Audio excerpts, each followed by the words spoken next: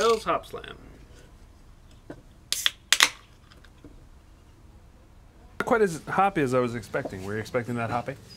Uh, it, there's a lot How's of hops in there, but it's it's so balanced with the malt. I don't know. Yeah, the bitterness is is kind of subdued compared to that sweetness, but it's not overly sweet. It's not.